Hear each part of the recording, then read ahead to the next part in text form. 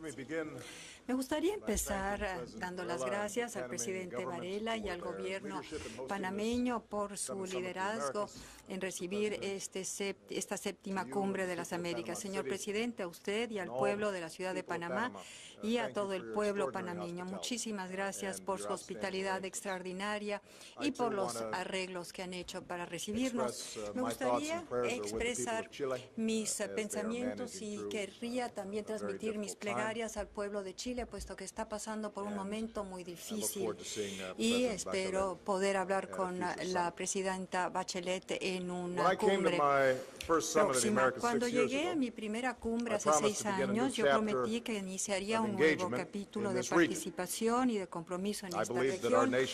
Y opinaba que nuestras naciones tenían que liberarse de los viejos argumentos, los viejos resentimientos que demasiado a menudo nos atrapaban en el pasado, que teníamos una responsabilidad compartida de mirar hacia el futuro y de pensar y de obrar en maneras nuevas y actualizadas. Yo me comprometí a construir una nueva era de cooperación entre nuestros países como aliados en pie de igualdad en base a intereses y respeto mutuo.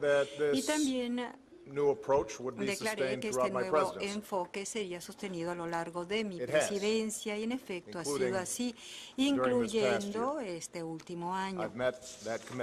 Yo he cumplido con ese compromiso. Nos reunimos aquí en un momento histórico.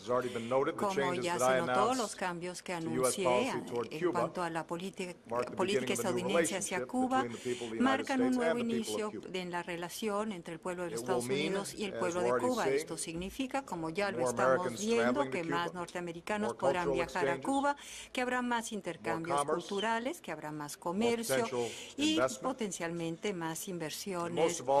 y más que nada significará más oportunidades y recursos para el pueblo cubano. Esperamos poder ayudar también con respecto a eh, proyectos humanitarios con mayor acceso a telecomunicaciones, Internet y libre flujo de información. Nosotros seguimos adelante y vamos a comprometernos en cumplir con esto. Queremos establecer relaciones diplomáticas y he pedido al Congreso que empiece a trabajar para levantar el embargo que ha estado vigente durante décadas. El punto es que los Estados Unidos no estarán, no serán prisioneros del pasado. Más que nada miramos hacia el futuro y las políticas que mejorarán las vidas del pueblo cubano y podrán promover los intereses de la cooperación en este hemisferio.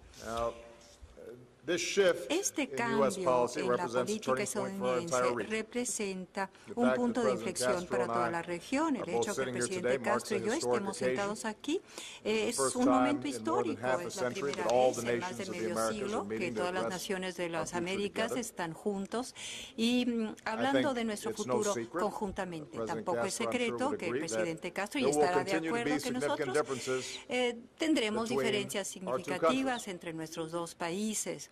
Nosotros seguiremos hablando en nombre de los valores universales que a nuestro entender son importantes y estoy seguro que el presidente Castro seguirá hablando de los temas que para él revisten importancia. Pero también creo firmemente que si seguimos avanzando y aprovechamos de este impulso buscando nuestros intereses comunes, entonces las relaciones mejores entre Estados Unidos y Cuba crearán nuevas oportunidades para la cooperación a lo largo de la región, para la seguridad, la prosperidad, salud y la dignidad de todas de nuestros pueblos.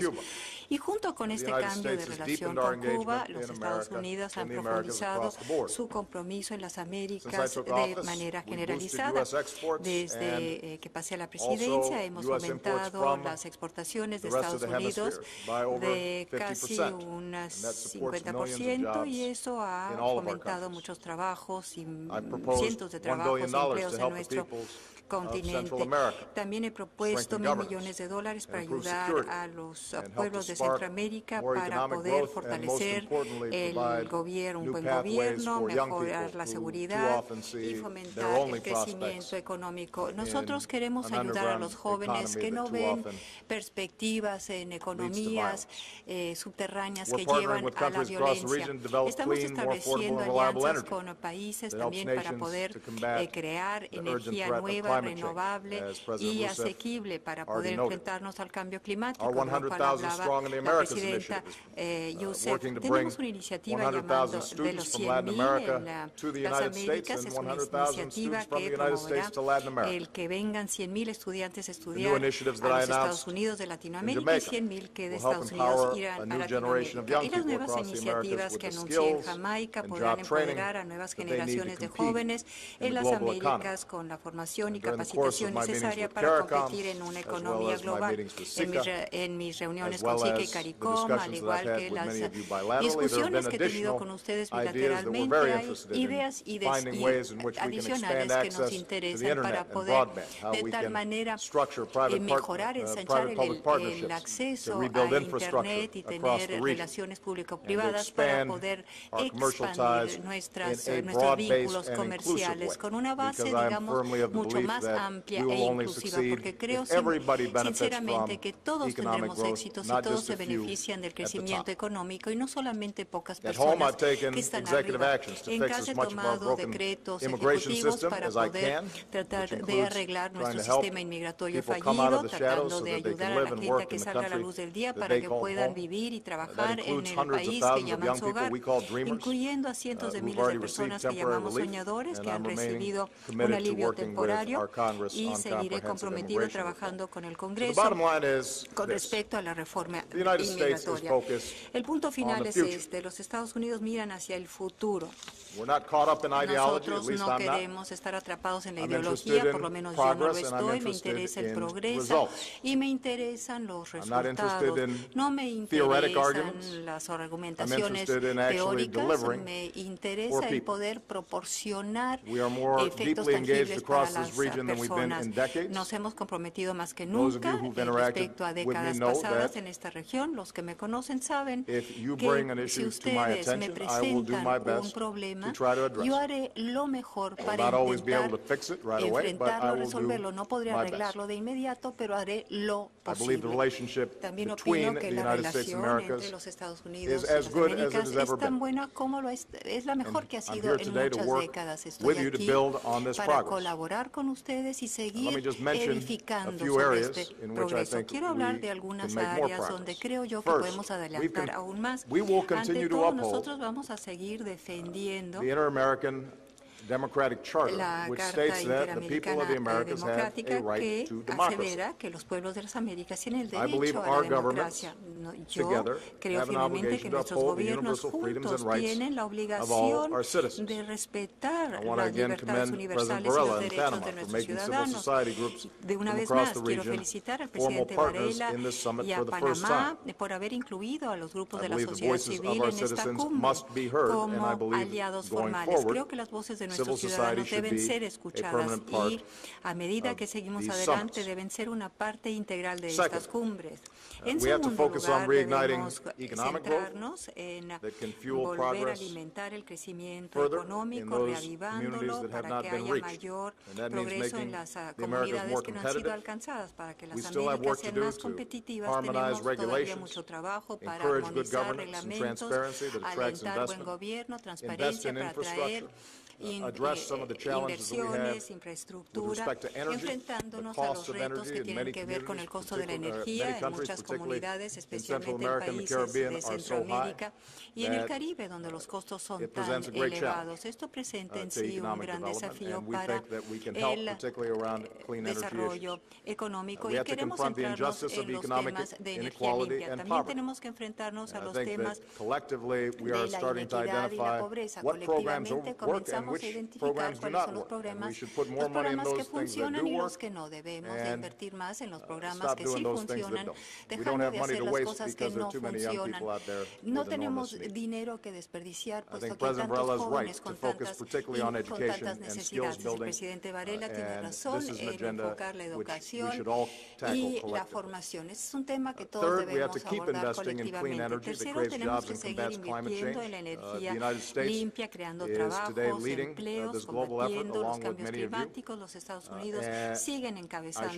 y America's me carbon gustaría pollution is indicar near its lowest que level in nuestra almost two decades.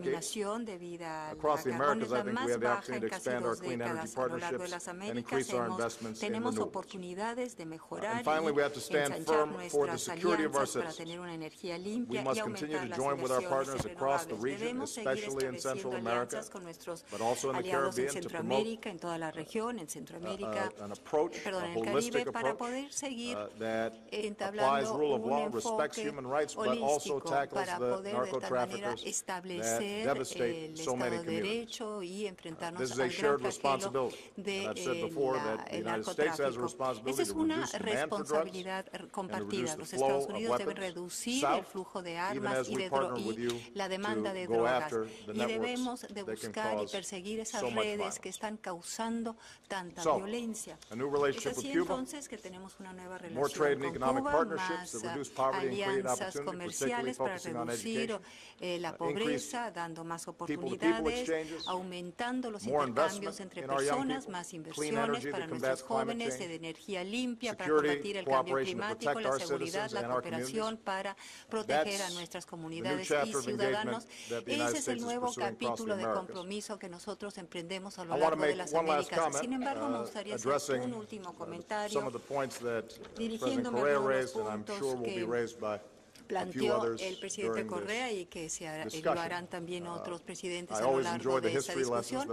Me encantan uh, las historias y las, las, las history, clases de historia que recibo aquí. Yo soy estudiante de la historia y en efecto conozco varios de estos episodios que se han eh, mencionado. Soy el primero en uh, reconocer America's application of que concern la, around aplica- human rights has la not always been aplicación y de los Estados Unidos ante los derechos humanos no siempre ha sido congruente y consistente. Y estoy sumamente that there are consciente dark del chapters hecho in que our hay capítulos oscuros en in nuestra which we propia have not historia observed en los que no hemos en the efecto principles and ideals observado y cumplido country con was los founded. principios y los ideales sobre los cuales se few fundó weeks ago, I nuestro was in país. Selma, Hace tan Alabama, solo unas semanas estaba yo en Salma, Alabama, the 50th anniversary celebrando el across a 50 bridge aniversario de la marcha a lo largo del puente que tuvo como resultado eh, de una violencia the reason I was there, and the horrenda. reason it was a Y la celebration razón por because la que estuve ahí fue la triumph of human spirit in celebración which por el ordinary hecho que para people mí fue without el triunfo del espíritu violence humano. O sea, personas comunes y corrientes que no recurrieron a la, violen- a la violencia pudieron sobreponerse a la, segrega- a la segregación sistemática, se escucharon sus voces y nuestro America never país makes a claim se about being perfect. transformó. We do make Nosotros no podemos reivindicar la perfección, sin embargo podemos decir que nosotros tenemos una apertura hacia el cambio. I would just say that Entonces tan Uh, solo we les can, I que suppose, spend a lot of time talking about pasar mucho past grievances. tiempo hablando de agravios y de And I suppose injusticias that pasadas it's y supongo possible to también use que es posible the United States as a utilizar a los handy Estados excuse Unidos every so una gran often excusa for muy cómoda, muy political de vez en problems cuando debido a los problemas that may be políticos occurring domestically. que podrían suceder a nivel nacional.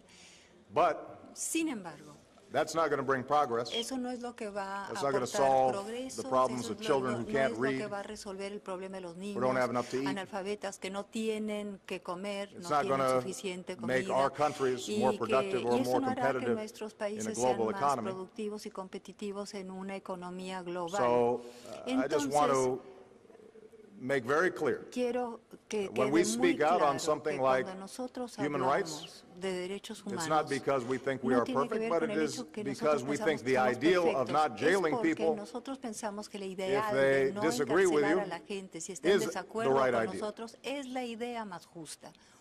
You know, perhaps President Correa Quizá has el more presidente confidence than I do Correa in tenga más confianza que distinguishing yo between en la bad press distinción and good press. There are a entre whole bunch of press that la I think is prensa bad, buena y la mala. mainly Creo que because hay it mala prensa criticizes por el me, hecho porque que me but critica. they continue to Sin speak out in embargo, the United States sigue hablando because esta prensa I don't have en confidence los in a Estados system in Unidos, which one person's porque making yo that determination. no confío en un sistema en el que I solamente una think that if persona we hace believe esa in democracy, it determinación. means Creo that que si everybody creemos en la democracia has the significa chance to speak que out and todo el offer their mundo tiene opinion.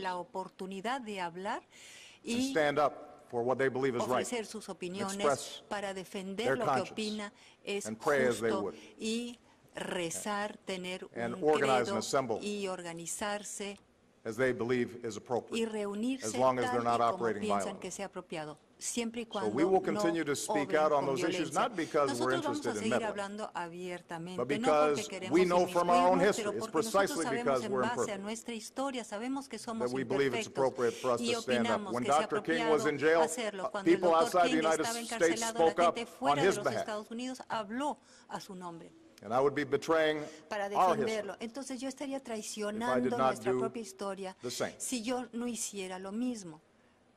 Now, The Cold War has been over for a La long Guerra time, Fría llegó a su fin hace mucho tiempo. and I'm not interested in Y a having mí no me interesa battles that, el frankly, que sigan habiendo batallas que francamente empezaron antes de que naciera. What I am interested in Lo que solving me interesa es en resolver problemas, trabajar That's what con the United ustedes. States is interested in doing. Es That's lo why que le we've interesa a los so Estados much Unidos, es por eso que uh, hemos in invertido tanto en nuestras relaciones bilaterales y es por ello que vamos a seguir invirtiendo en la creación del mutual interest and espíritu mutual de respect, alianza en pie de uh, igualdad, uh, respeto mutuo, sobre los cuales creo que el progreso puede seguir adelante. Muchas gracias. En cuanto a la política, política estadounidense hacia Cuba, marcan un nuevo inicio en la relación entre el pueblo de los Estados Unidos y el pueblo de Cuba. Esto significa, como ya lo estamos viendo, que más norteamericanos podrán viajar a Cuba, que habrá más intercambios culturales, que habrá más comercio y potencialmente más inversiones.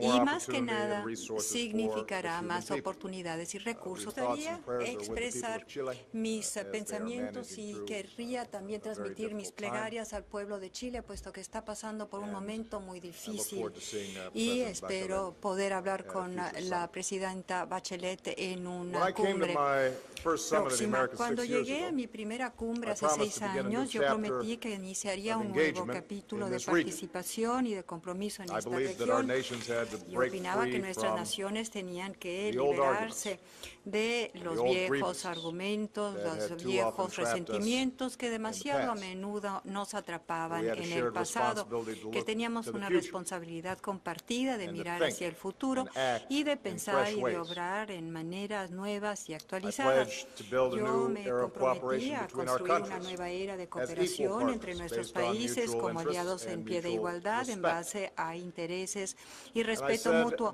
Y también declaré que este nuevo enfoque sería sostenido a lo largo de mi presidencia y en efecto ha sido así, incluyendo este último año.